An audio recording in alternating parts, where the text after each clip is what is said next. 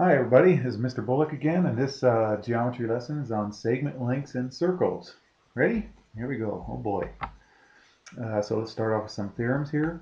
Uh, if two chords intersect inside a circle, so here's a picture of two chords intersecting inside of a circle, uh, then the product of the pieces, product means multiply, the product of the pieces of one chord equal the product of the pieces of the other chord. So let's just put some letters in for these lengths here. So I got A, B, C, and D. Then uh, I always say piece times piece equals piece times piece. Excuse me. I had to clear my throat. So uh, A times B equals C times D. Alrighty.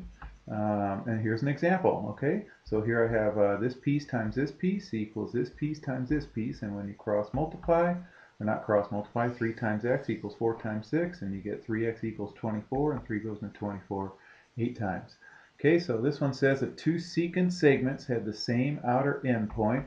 Here's a picture. Two secant segments. Its secant segment is um, it's like a chord. It's an extension of a chord. Okay, but it's a segment, so it ends out here. So this is this would be my chord right here, and then the extension of it just goes out here. That's what a secant segment is. So if these two secant segments have the same outer endpoint, whoops, right there, okay, uh, then uh, it goes uh, outer times whole equals outer times whole. So for example, uh, if I had these numbers in here, I'm going to go this outer piece, which is 4, times the whole piece, which is 9. You see where that 9 came from? 4 plus 5 equals the other outer plus the other whole.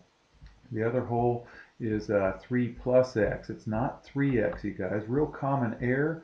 This is a common error. Don't do this uh, four times or outer times inner, outer times inner. That won't work. It has to be outer times whole, outer times whole, just like the blue stuff right here. Okay. All right. So uh, if you have the same tangent segment and, and secant segment from the same outer endpoint, see how this tangent segment right here, this guy's a tangent segment, and this secant segment has the same outer endpoint. Then it goes uh, tangent segment squared equals outer times whole. So for example, if, if I put some lengths in there, if that's 24, 16, and x, so 24 squared equals 16. Don't forget the whole length is 16 plus x. All right, then you do your, your math and crank out and you get x equals 20. Okay, 24 squared is 576. So let's practice some of these, you guys. Find the value of x in each. Okay, so here's two intersecting chords. So piece times piece equals piece times piece. So 12x equals 60, x equals 5. Easy, huh? Okay, we'll get, uh, let's see, here's number two. Piece times piece equals piece times piece. So 4x uh, times x equals 3x times x plus 1. Okay, piece times piece, piece times piece. Uh, 4x times x is 4x squared, and then when you distribute, don't forget to distribute 3x through, so you get 3x times x is 3x squared, and then 3x times 1 is 3x. Okay, so now we have a quadratic equation so I'm going to subtract 3x on both sides, and I'm going to also subtract 3 on both sides.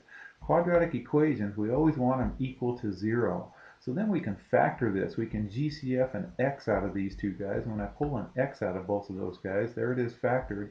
Now it's called the zero product property. I can say this factor x equals 0 and this factor x minus 3 equals 0. So you get x equals 0 or x equals 3. So you can't have a zero length since x is talking about length. So I'm just going to go plus 3 plus 3 on this equation so I get x equals 3. Okay? All right. Uh, okay. Outer times whole, outer times whole. So here we go. Uh, 3 times 3 plus x equals 4 times 6. Don't forget the 6 I got from adding 4 plus 2. All right, I'm going fast. Remember, you can pause and rewind, so I go fast to try and make these videos shorter. Okay, so distribute the 3 through, 3 times 3, and then 3 times x, and then uh, you get that equation, subtract 9, you get 15, x equals 5, okay? Outer times whole equals tangent segment squared, so 5 times 5 plus x equals uh, 49, 25, and then subtract 25 on both sides, you get, you're going to get a fraction on that one. That's okay, so you get 24 fifths. Okay, fractions are good, you guys. Don't be afraid of those. All right, so this is a review from a prior lesson that we did, you guys. What I'm going to do first is get that angle right there, that 78 degrees, because of that straight line. That red line is 180, so I did 108, 180 minus 102. Straight lines are great, you guys, 180 every time. And then that 78 equals half the sum of the intercepted arcs. So I'm going to add these two guys and take half of that. All right? And then so I multiplied both sides by 2 to get rid of that half. And 156 equals x plus 95. Then subtract 95 on both sides and you get 61. Okay, piece times piece, piece times piece. So 18 times x equals 9 times uh, 16. 18 goes in 144 8 times. Okay, um, uh, outer whole, outer whole. So here we go. Outer times whole equals outer times whole. Don't forget the whole whole is x plus 29 and 18 plus, uh, uh, 22. All right. So you get x squared uh, plus 729 or plus 29x equals 720 and it's another quadratic so we make it equal to 0 and then we get to factor of this guy. And everybody knows that factors of 720 is 45 times 16 and since it's negative you guys this one's positive this one's negative.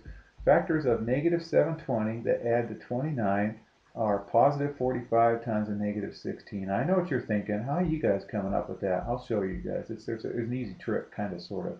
It's not easy, but it makes these a little bit easier on factoring.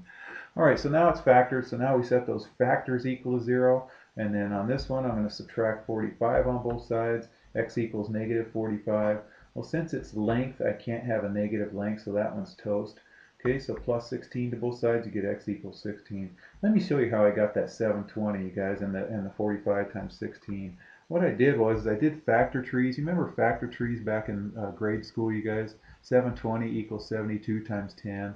Then I broke down 72 to 8 times 9 and 10 to 5 times 2. And then I looked at these numbers and just che checked to see if there's any pairs, if I mixed and, and matched, could I get uh, a difference of 29, okay? And then I noticed 9 times 5 is 45, 8 times uh, 2 is 16, and 45 minus 16 is 29.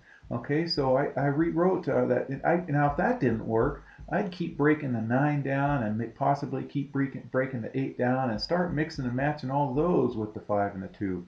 But I got it right there with the 45 and the 16. These guys have a difference of 29, that's how I got my 29.